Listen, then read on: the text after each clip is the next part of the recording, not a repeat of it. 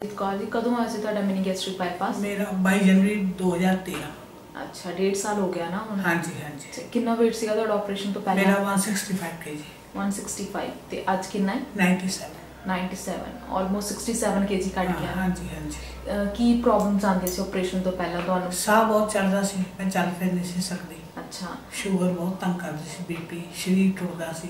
ਅੱਛਾ ਸ਼ੂਗਰ ਕਿੰਨੇ ਸਾਲ ਪੁਰਾਣੀ ਸੀਗੀ? 10 ਸਾਲ ਪੁਰਾਣੀ ਸੀ। 10 ਸਾਲ। ਤੇ ਕੀ ਲੈਂਦੇ ਸੀ ਉਹਦੇ ਵਾਸਤੇ? ਟੈਬਲੇਟ ਲੈਂਦੀ ਸੀ। ਦੋ Tablets ਟੈਬਲੇਟ ਸਵੇਰ ਦੋ ਸ਼ਾਮ ਨੂੰ। ਠੀਕ ਹੈ।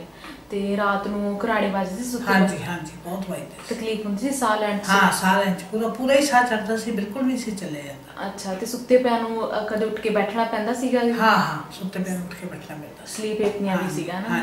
ਅੱਛਾ ਤੇ ਆਪਰੇਸ਼ਨ ਤੋਂ ਬਾਅਦ ਹੁਣ ਤੁਸੀਂ ਕਿੰਨਾ ਫ਼ਰਕ ਮਹਿਸੂਸ ਕਰ ਰਹੇ ਹੋ? ਮੈਂ ਰਾਤ ਦਾ ਫ਼ਰਕ ਹੈ ਹਾਂਜੀ। ਹਾਂ ਉਹ ਤਾਂ ਗੱਲਾਂ ਹੀ ਚਲੀਆਂ ਗਈਆਂ। ਹੁਣ। ਆਰਾਮ ਨਾਲ ਮੈਂ ਸਾਰੇ ਕਿਤੇ ਤੁਰੀ ਫਿਰਦੀ ਆ ਆਰਾਮ ਨਾਲ ਜਾਂਦੀ ਆਉਂਦੀ ਆ ਕੋਈ ਗੱਲ ਨਹੀਂ ਅੱਛਾ ਤੇ ਸ਼ੂਗਰ ਕਦੋਂ ਠੀਕ ਹੋ ਗਈ ਸੀਗੀ ਸ਼ੂਗਰ ਜਿਸ ਦਿਨ ਮੈਂ ਆਪਰੇਟ ਕਰਵਾਇਆ ਉਸ ਤੋਂ ਬਾਅਦ ਮੈਂ ਟੈਬਲੇਟ ਨਹੀਂ ਖਾਦੀ ਓਕੇ ਉਸ ਦਿਨ ਹੀ ਟੈਬਲੇਟ ਬੰਦ ਹੋ ਗਈ ਸੀ ਬੰਦ ਹੋ ਗਈ ਸੀ ਠੀਕ ਹੈ ਬੰਦ ਹੋ ਗਈ ਸੀ। ਔਰ ਡਾਈਟ ਕਿੱਦਾਂ ਚੱਲਦੀ ਹੈ ਹੁਣ ਡਾਈਟ ਮੇਰੀ ਅੱਛੀ ਹੈ ਵਧੀਆ ਇੱਕ ਫੁਲਕਾ ਮੈਂ ਉਸ ਟਾਈਮ ਇੱਕ ਉਸ ਟਾਈਮ ਆਰਾਮ ਨਾਲ ਆਪਣਾ ਖਾ ਲੈਂਦੀ ਠੀਕ ਹੈ ਡਾਈਟ ਤੁਸੀਂ ਆਪਣੀ ਇਦਾਂ ਹੀ ਵਧੀਆ ਰੱਖਣੀ ਹੈ ਹਾਂ। ਦੁੱਧ ਦਹੀਂ ਲੱਸੀ ਕੱਚਾ ਪਨੀਰ ਨਾਨ ਵੈਜ ਖਾ ਸਕਦੇ ਹੋ ਤਾਂ ਨਾਨ ਵੈਜ ਲੈ ਲੈਂਦੀ ਹਾਂ ਲੈ ਹਾਂਜੀ ਤਾਂ ਕਿ ਕੋਈ ਵੀਕਨੈਸ ਨਾ ਆਵੇ ਬਾਡੀ ਵਿੱਚ। ਕਿਉਂਕਿ ਜਦੋਂ weight ਇੰਨਾ ਘਟ ਜਾਂਦਾ ਤਾਂ ਵੀਕਨੈਸ ਆ ਜਾਂਦੀ ਹੈ।